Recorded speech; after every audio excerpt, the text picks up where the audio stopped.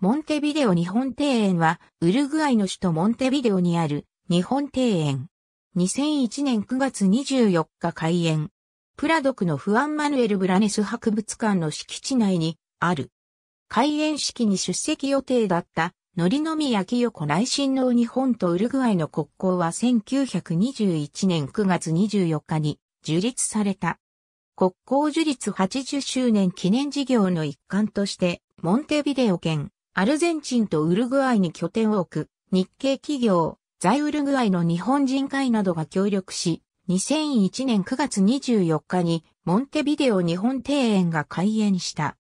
開園式には、ノリノミヤ清子内親王が出席予定であり、日本の皇族として初めてウルグアイを訪れる予定だったが、13日前の9月11日に発生したアメリカ同時多発テロ事件の影響で、ノリノミヤ清子内親王のウルグアイ訪問は中止になり、在ウルグアイ日本国大使がメッセージを代読した。ウルグアイ側では、モンテビデオ市長やホルヘバジェイバニエス大統領夫人が列席している。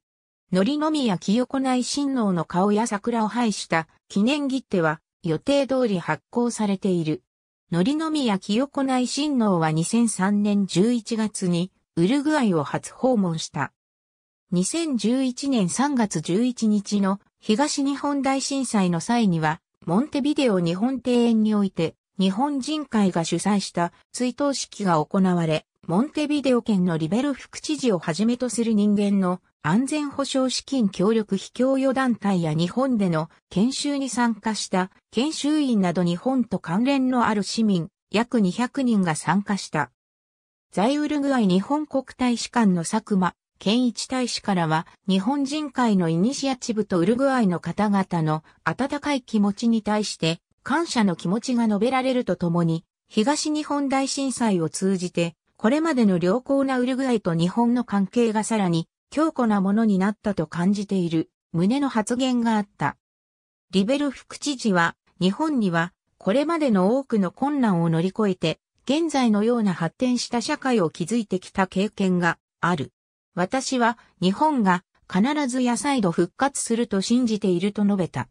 入り口の門には小泉純一郎首相直筆の平成園という変額が飾られている。園内には東や滝、池、獅子おどし、雪見道路などが配置されている。日本を象徴する樹木である桜、日本固有種の富士、ウルグアイの国家である聖母などの木々が植えられている。庭園内の池には、錦鯉が泳いでおり、池には太鼓橋が架けられている。開園日は火曜日から日曜日、月曜日が閉園である。開館時間は12時から18時である。入場無料。ありがとうございます。